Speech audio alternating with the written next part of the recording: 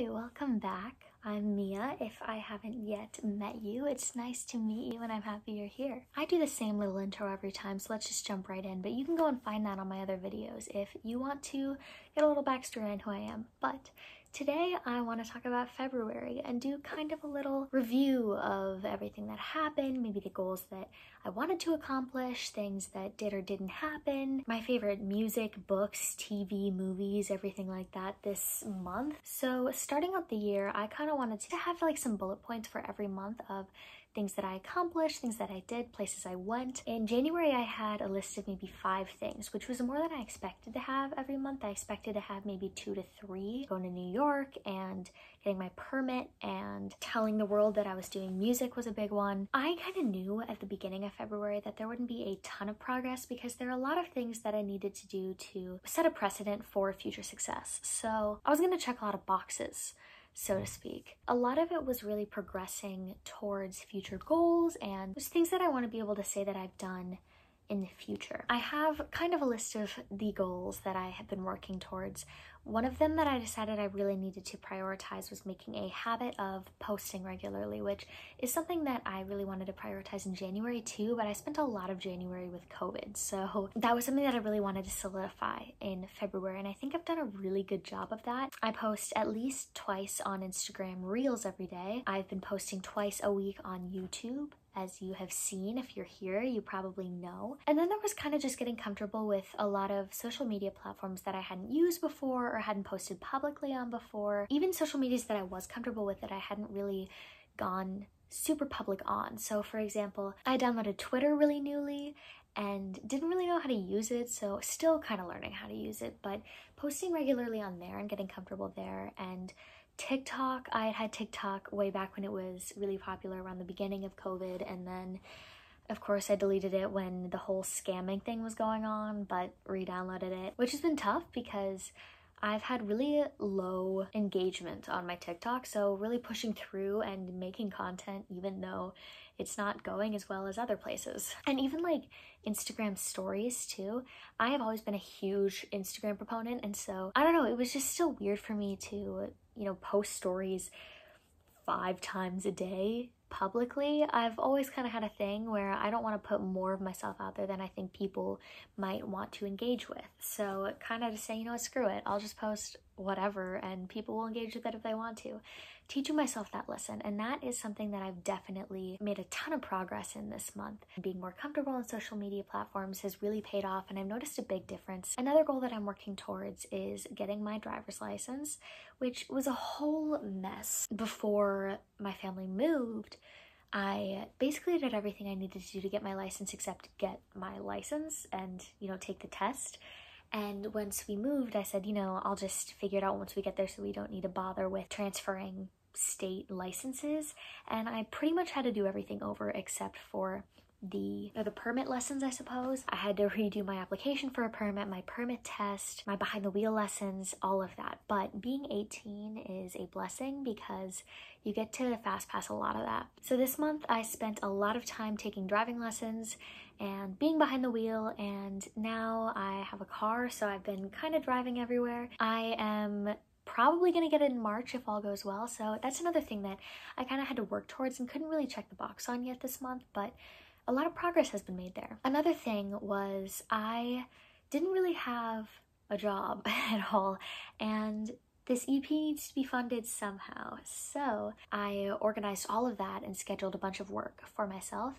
And that is a really great accomplishment for this month as well because now I'll be working towards this funding to make my EP, which is a nice segue because that is something that is always progressing. And so, what I've been really focusing on this month was figuring out who I wanted to make it and it's still a little more slow going than I would like it to be because I reached out to a couple of producers and mixers but I've always been someone who's very I don't like to intrude on people's time or their space or their emotions. And so I think I just need to get assertive, um, which hopefully this video ages well because I would love to be able to say that I was assertive and it paid off. Yeah, so I have a producer too that I would really love to work on it and hopefully we can get that rolling. I am pretty much going to make it as soon as I have the money for it. And I don't quite know how much it's going to cost yet because, of course, it differs from person to person. So, as soon as I've got enough money to produce and mix it, I'm probably going to go to LA and just get that crap out. Of course, after it's produced and mixed, there's going to be a gap of time because I'm talking to my friend about making a music video over the summer, which is really far out, but we've got some resources, we've got some ideas, so of course that'll have to be funded and everything as well. But there's that, and then of course there's learning about distributing it and copyright things, all of that. And this being my first EP, I'm gonna take my time. Yeah, so that's exciting. So hopefully in March, I can tell you I've secured a producer and a mixing engineer and we can be good to go. So yeah, overall, not a lot of trips, not a lot of really checking the boxes on much, but there's been a lot of progress in work and driving and social media presence and in figuring out who's gonna produce this because oh, at the beginning of the month, I was so distraught and felt like it was just this huge world of all of these people that could work on it, and I had no idea who I wanted to work on it. Now I kind of know, so it's just pestering them enough to do it with me. So I spent a lot of this month, as you can kind of tell, a little bit holed up I definitely got out for my driving lessons and I got out to, you know, secure work and all of that. But I really was holed up otherwise. I made a lot of content, as you know, but yeah, aside from that, I didn't do much. I didn't really go on a trip or anything this month. But at the end of the month, I had some fun because for Christmas, I had gotten my sister tickets to Dodie and Lizzy McAlpine. So we got to go and see them, and that was super fun. It was really nice to get out for once after being holed up for a while and to appreciate art and remind myself that that is what I want to do and that's what I'm working towards. I think can get so in my head when I'm spending all of my time in my room working on things that uh, to be able to go out and experience art the way that it works these days usually it's just really fun. So that was cool. And then i kind of accidentally got tickets to Claire Rosinkranz as well and did that the following night which was super fun. So i kind of two nights in a row of just super fun concerts and going out and being a part of my community, which is something that I've really failed at. So hopefully in March I can get it a little bit more. I do have some things planned that you're gonna get to see soon that will allow me to get out. So let's talk things that I've gotten into and been really kind of obsessed with this month. One thing I really enjoyed doing this month was I spent my quiet times in the book of Luke, which was kind of my favorite gospel before, and I'm a big fan because it's just written in a way that I can really resonate with, in a way that of the four gospels is kind of the way that I write personally. I'm in John now and he kind of jumps around and I'm like, man, Luke is so chronological and I feel like tells the story really well. So I really enjoyed that. I forgot how long every chapter is. They get up there, like 70 verses a chapter. But yeah, that was really something that was fun to do. I'm also a big reader in general, and I really like to read classic literature and old books and things like that. But I worked so much on music this month that I didn't really have a lot of time to read, and I think that that is one of those things that kind of gets pushed to the side when I prioritize other things, you know? I definitely am someone who considers reading important and valuable, and I don't consider it entirely a leisure activity because you're really gaining knowledge and cultural awareness depending on the books that you read. Yeah, I just spent a lot more time working on music.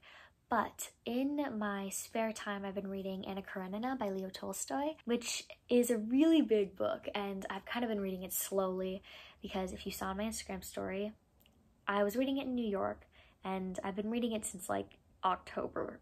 But whenever I have a second, I open it up and it's really fun because I love kind of the elegance of it, but you also get kind of the rambunctious side of some of the characters that are really, I suppose, mischievous, make bad decisions, but it's interesting to read. And I think, especially for being as old of a book as it is, it's not so difficult.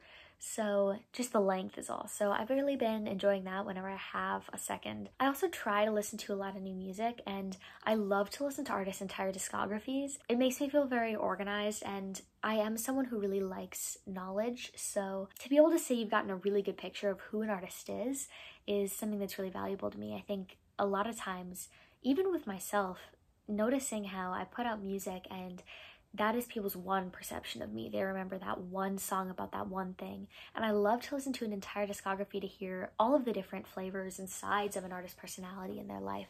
So normally I will listen to an entire artist. I've been really liking the playlist that Apple Music makes every week. So I listen to that sometimes, but I don't know. I've been having a really hard time finding music that I listen to on repeat. I have a playlist that I add to every year of the songs that I've been obsessed with, and I barely added any this month just because I've been listening to music so fluidly that I haven't really had much that has stuck with me. But the one thing that kind of has has been Lizzy McAlpine's new stuff. So Reckless Driving has made a super huge impact on me. It is just incredible and so great and so easy to listen to on repeat which coming from me is not a big statement because I listen to most things on repeat. And she also played a new song at her concert that I recorded all of that I added to my Apple Music and have been just listening to so much. But yeah, that's kind of what I've been obsessed with. I've been kind of lax on movies lately. I haven't really had a lot of time to watch movies, and when I watch movies by myself, it's like I'll go through really short phases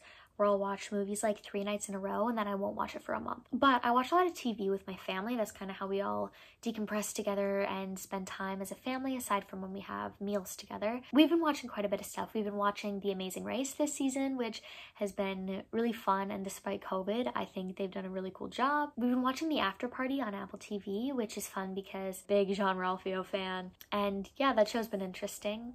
My dad and my sister and I also got really into Murderville, which is Will Arnett and a bunch of comedians, so that one's super fun on Netflix. And then personally, I've been watching a lot of reruns of Whose Line Is It Anyway, which is kind of my comfort TV show. I have a couple comfort TV shows, but that one, I'll watch like clips of it before I go to bed, clips of it while I'm eating, clips of it while I take the dogs out at midnight, like whatever. And I particularly have been watching the new one um, with Aisha Tyler hosting it. I also have had phases of that where I'll get into it, but it's kind of full fledged now. And yeah, I just watch it on YouTube, so it's kind of like I don't really keep track. So yeah, I think that's kind of the recap on February. I think it was a lot of progressing towards future goals that hopefully will get accomplished soon. Ideally, March, April, things will be coming together and that would be lovely. But yeah, I've been working a lot and making a lot of content for you and learning how to drive. So lots of things that are in the works and I'm super excited for you to be able to see everything when it all comes together. It's going to be an absolute blast when this EP comes out. And I don't know, a lot of artists kind of tend to surprise people with this. That is not what's happening in this. You guys are hearing about it from day one. So it's going to happen. It's we're going to make it and it's to be lovely and I'm to get to share it with you all and I'm so stoked about that. That's February. I would love to hear about your February. Tell me in the comments or DM me or whatever. Which, speaking of, you should tell me how your February was on all of my social medias, which are all linked in the description. So tweet me on Twitter, DM me on Instagram, comment on this video, whatever social media you like, they are all linked below. So go check those out and we can hang out there and stay updated on everything and really just have a ball of a time. I love you guys. I'm thankful that you're here and that you're hanging out. And yeah, I hope that you had a fantastic February, that your March is just swell so far. And I'm so excited to show you everything that's going to be happening in the next couple months and to keep you updated twice a week on here with all sorts of stuff. So thank you for hanging out and I'll see you later. Bye.